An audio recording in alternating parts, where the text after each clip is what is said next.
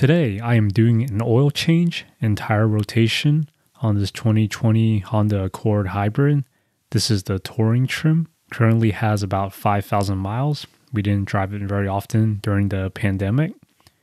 Quickly, we're going to check the oil in the dipstick. I didn't see too many videos for this car on YouTube, so this is really to help those that want to do it yourself but aren't sure where to start. If the car has been sitting for a while, you might want to drive it around the block really quick to warm up the oil a bit.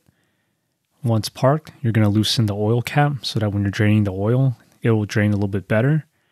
You need at least 4 quarts of 0W 20 oil, but you might have better luck just finding a 5 quart container.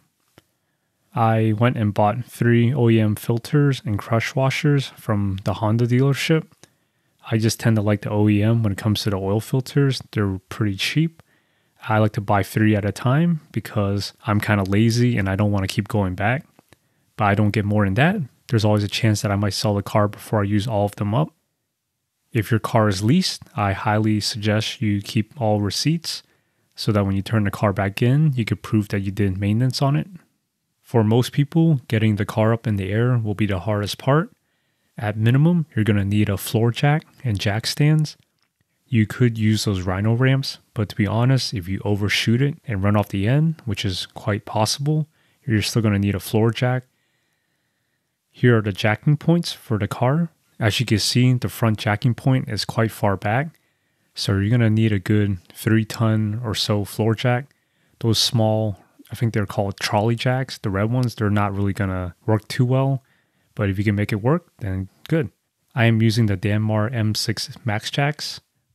Also, before you get the car up in the air, it's a good idea to pop the hood and take the wheel locks out of the car if you have stored in there, along with the oil and any other materials. Since I'm using a two post lift, I like to do the tire rotation first before sending the car fully up to the first locking position.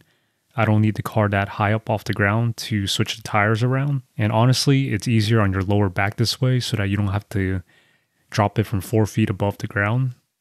Here is a quick diagram of the front wheel drive tire rotation pattern.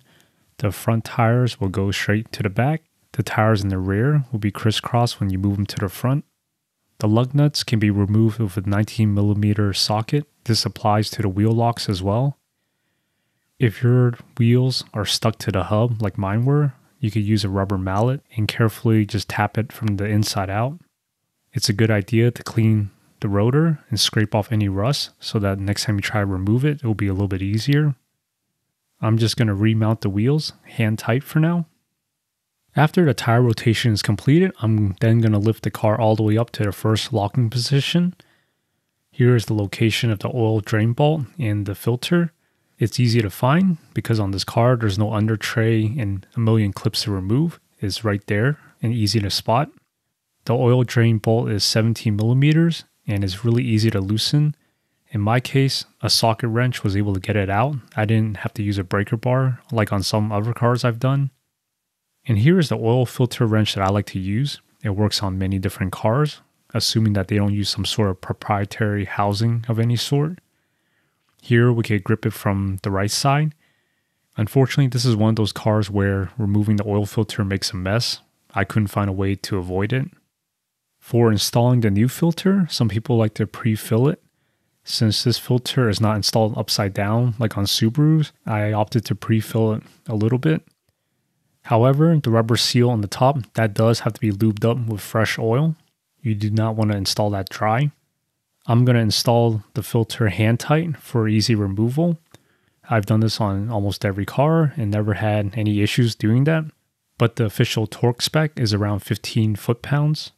Take note that the drain bolt itself is steel, but the crush washer is not. Be careful threading the steel bolt into the aluminum oil pan they have been known to strip on the aluminum side. You want to thread in the bolt pretty much all the way in by hand. It should go in easy. If not, stop and check your work. It is very easy to strip those threads, and once you strip it, you're going to have a really bad day. Again, I just do this hand tight as much as I can. Official torque spec is around 30 foot pounds. If you're lucky enough to have an old container sitting around, you could dump the old oil into it and compare the new oil container and see how much came out of the car. In my case, it was around 3.7 quarts. So that's what I refilled to, around 3.7 quarts. Next, I jumped into the car and just turned it on. I'm going to show you how to reset the maintenance light if you have one on right now. From the center console, you're going to hit the home button, then go to settings, vehicle, maintenance info, select reset items. I like this menu because you could choose the tire rotation and some other things that you don't get on the steering wheel. I didn't find the steering wheel control as intuitive, so I'm not including it in this video. After the car has ran for a few minutes, you can go underneath and check for leaks. It either leaks or it doesn't. From what I noticed, it's usually common for the oil filter to have a ring of oil because when we installed it, we lubed up the rubber around it. I'm going to recheck the dipstick and add oil if necessary. It should be between the two holes. I did have to add a little bit more, so in total I used 4 quarts to get it to where I want it to be. Before lowering the car, I'm also going to winterize it. This is a daily driver. I'm going to use fluid film and I'm just going to spray the raw steel areas to prevent rusting. I have a more in-depth video on my Evo up here. The areas you want to target the most are anything that you can't easily replace, like the frame rails, but also the suspension, struts, sway bars, end links, tie rod ends, pretty much anything that's not aluminum. Do not spray the exhaust. If you do, it's going to burn off and it's going to smell really bad. I'm then going to slowly lower the car until the tires barely touch the ground. And then I'm going to tighten the wheels to spec.